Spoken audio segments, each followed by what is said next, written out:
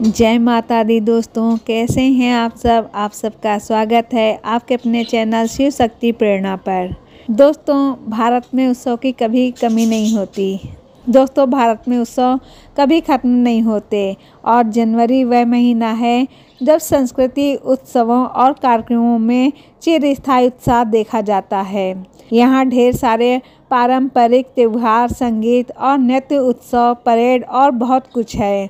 जिसका आप निश्चित रूप से हिस्सा बनना चाहेंगे। यहाँ साल के पहले महीने में पेश किए जाने वाले सबसे अच्छे त्यौहार और कार्यक्रम हैं। सबसे पहले है कच्छ का रण।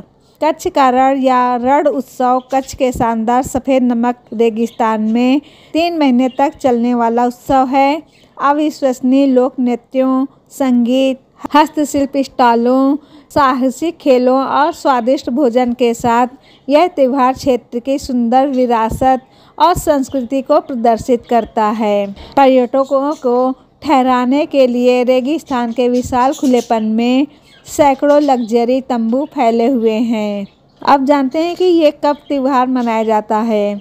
26 अक्टूबर 2023 से 20 फरवरी 2024 तक ये त्यौहार चलेगा।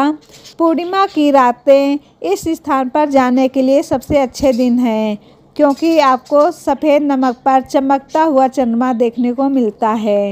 ये त्यौहार कच्छ का रण धोरणो गुजरात में मनाया जाता है। दूसरे त्यौहार की बात करते हैं, जो है अंतर्राष्ट्रीय पतंगबाजी महोत्सव। दोस्तों, इस त्यौहार पर सूर्योदय से सूर्यास्त तक उड़ती लाखों पतंगों के साथ। आकाश को जीवंत और रंगीन होते देखना बेहद आनंददायक होता है। दुनिया भर से पतंग उड़ाने वाले मकर संक्रांति उत्सव के हिस्से के रूप में उत्सव में शामिल होते हैं। पतंग उड़ाने के अलावा अन्य आकर्षक कार्यक्रम भी होते हैं, जैसे हवाई कलाबाजियाँ, पतंग बनाने की कार्यशालाएँ, पतंग पेंटिंग प्रतियोगिता और भी बहुत कुछ। यह परिवार अनुकूल त्यौहार, जीवन और प्रजनन क्षमता का जश्न मनाता है।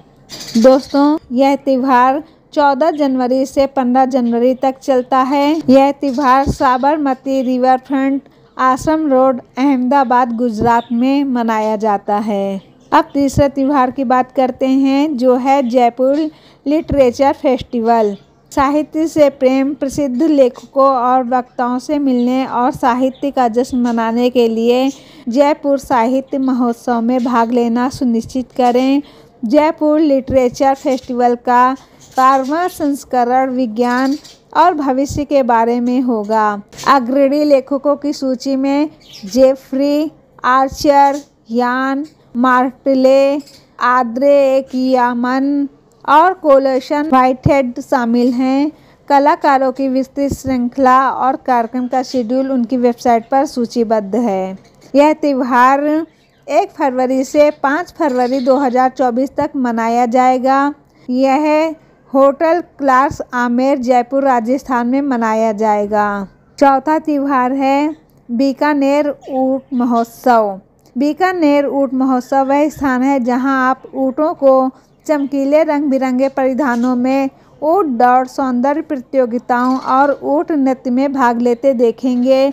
यह त्यौहार रेगिस्तानी जानवरों का जश्न मनाता है और कैसे ऊँटों को नचाते हुए देखना एक ऐसा दृश्य है जिसे आप मिस नहीं करना चाहेंगे। यह उत्सव आतिशबाजी शो राजस्थानी लोक कलाकारों के मनोरंजन प्रदर्शन के साथ समाप्त होगा। यह त्यौहार 13 जनवरी से 15 जनवरी 2024 तक मनाया जाएगा। यह बीकानेर राजस्थान में मनाया जाएगा। पांचवा त्यौहार है लोहड़ी। दोस्तों, लोहड़ी का हर्षोल्लासपूर्ण त्यौहार फ़सल की मौसमी की शुरुआत का उत्सव है। मुख्य रूप से पंजाब और उत्तर भारत के अन्य हिस्सों में सिख और हिंदू समुदायों द्वारा मनाए जाने वाले इस त्यौहार में पवित्र अलाव जलाना, उसे खाना खिलाना, प्रार्थना करना और नृत्य प्रदर्शन शामिल है। आग सर्दियों के बीतने लंबी रातों का संकेत देती हैं और गर्मियों लंबे दिनों का स्वागत करती हैं। यह त्यौहार तेरह जनवरी को मनाया जाएगा। पंजाब और उत्तरी भारत के कुछ अन्य हिस्सों में ये त्यौहार मनाया जाता है। छठा त्यौहार है मंत्रा संगीत समारोह। सभी उभरते और प्रसिद्ध कलाकार के लिए एक मंच मद्रास संगीत महोत्सव भारत में सबसे बड़ा वार्षिक सांस्कृतिक संगीत कार्यक्रम है। यह पारंपरिक नृत्य, दक्षिण भारतीय कर्नाटक संगीत और अन्य कलाओं को भी प्रदर्शित करता है। एक महीने तक चलने वाले इस उत्सव के दौरान पूरे चेन्नई में एक हज़ार से अधिक प्रदर्शन होते हैं। इसके अलावा संगीत से संबंधित कई सेमिनार, प्रदर्शन और चर्चाएँ भी होती हैं। यह त्यौहार मध्य दिसंबर से मध्य जनवरी तक मनाया जाता है। यह त्यौहार पूरे चेन्नई और तमिलनाडु में मनाया जाएगा। सातवां है गणतंत्र दिवस। भारत के संविधान का सम्मान करने के लिए मनाया जाने वाला गणतंत्र दिवस एक राष्ट्रीय त्यौहार है, जिसमें भारतीय सेनाओं के तीन डिवीजनों का प्रदर्शन करने वाली एक शानदार परेड शामिल होती है। थल सेना, नौसेना और वायुसेना। वर्ष सत्तरवें गणतंत्र दिवस और महात्मा गांधी के 150वें जन्मदिन के रूप में गिना जाएगा। इसलिए इस वर्ष मुख्य अतिथि दक्षिण अफ्रीका के राष्ट्रपति मार्टा मेला सिरिल रामफोसा होंगे क्योंकि गांधी का देश से गहरा संबंध है। यह त्यौहार 26 जनवरी 2024 को मनाया जाएगा, जो कि नई दिल्ली में मनाया जाएगा। दोस्तों, आठवां त्यौहार है पोंगल। पोंगल प्रकृति को धन्यवाद देने के लिए दक्षिण में मनाया जाने वाला एक फ़सल उत्सव है।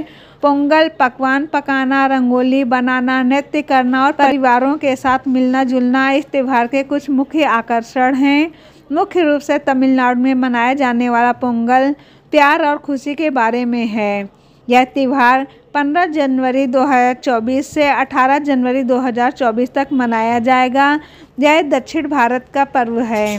तो दोस्तों, आज के वीडियो में बस इतना ही।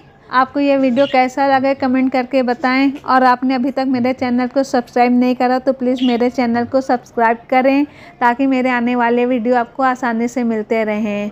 अब मिलते हैं अपने नए वीडियो में। तब तक के लिए जय माता दी।